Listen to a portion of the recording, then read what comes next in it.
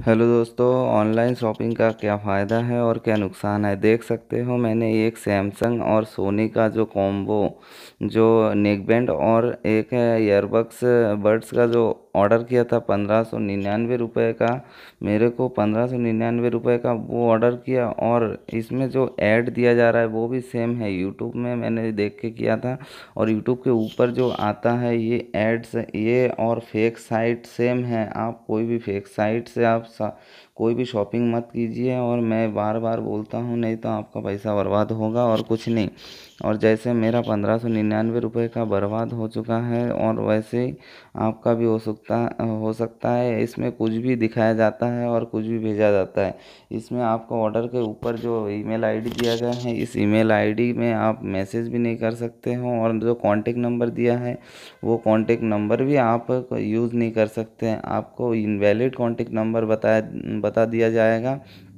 और देख सकते हो, मेरे को क्या मिला है, एक JBL का हेडफ़ोन जो एकदम थर्ड क्लास घटिया हेडफ़ोन है और ना ही मुझे यूज़ करने की इच्छा है और इसमें मैंने क्या ऑर्डर किया था, मैंने सैमसंग का ऑर्डर किया था और मेरे को मिला क्या JBL का, क्योंकि मैंने एक फेक साइट से ऑर्डर किया था। एक भरोसेमंद साइट से ही आप ऑर्डर कीजिए, जिससे कि आपको सही सही सामान मिले और सही वैल्यू मिले और सही से आपके एड्रेस तक पहुँच जाए। देख सकते हो, बिल्कुल मेरे पास है। एकदम ऑनलाइन प्रोसेस तो हुआ है, लेकिन मेरे एड्रेस तक ऑनलाइन जो मैंने एड्रेस फिलअप किया था, मेरे एड्रेस को देख सकते हो।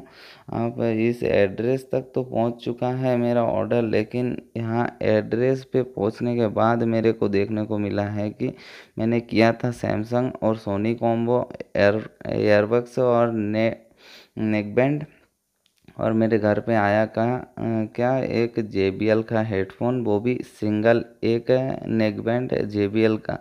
और मुझे बिल्कुल पसंद नहीं आया। और आप इस ऑनलाइन साइट कोई भी फेक साइट से आप शॉपिंग मत कीजिए। या आपको जो भी ऐड दिया जाता है स्क्रीन पे, उससे शॉपिंग मत कीजिए। क्योंकि उसके बाद आप अगर कांटेक्ट भी करना चाहोगे उससे कस्टमर केयर से, या कोई भी रास्ते से आपको उसके कांटेक्ट करना चाहोगे तो वो साइड ही आपको नहीं मिलेगा, वो साइड गायब हो जाएगा और उसके बाद फिर आप ढूंढते फिरोगे कि मैं कंप्लेंट कहाँ पे करूँ?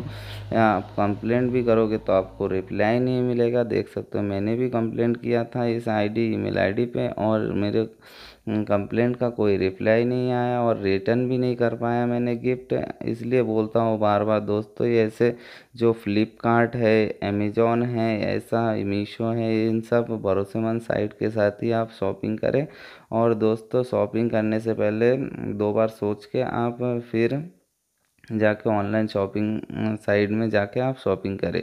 क्योंकि ऐसे अगर कुछ भी आप पैसे से कुछ भी परचेस करते हो तो आपको भरोसेमंद साइट के साथ ही जाना चाहिए, जो एक फ्लिपकार्ट है अमेज़ॉन है मीशो है, ऐसे दो चार साइट हैं और और दोस्तों, आप लोग भी ऐसे ही भरोसेमंद साइट के साथ ही शॉपिंग करें और दोस्तों, आप लोगों के दो, जितने भी दोस्त फ्रेंड्स हैं, उनको भी शेयर कीजिए जिससे कि वो फ्रॉड से बच सके और ऐसे धोखाधड़ी से बच सके जैसे मेरे साथ हुआ है। किसी के साथ ना हो, वीडियो को ज़्यादा से ज़्यादा लाइक कीजिए, शेयर कीजिए और सब्सक्राइब कीजिए चैनल को न्यू अपडेट पाने के लिए।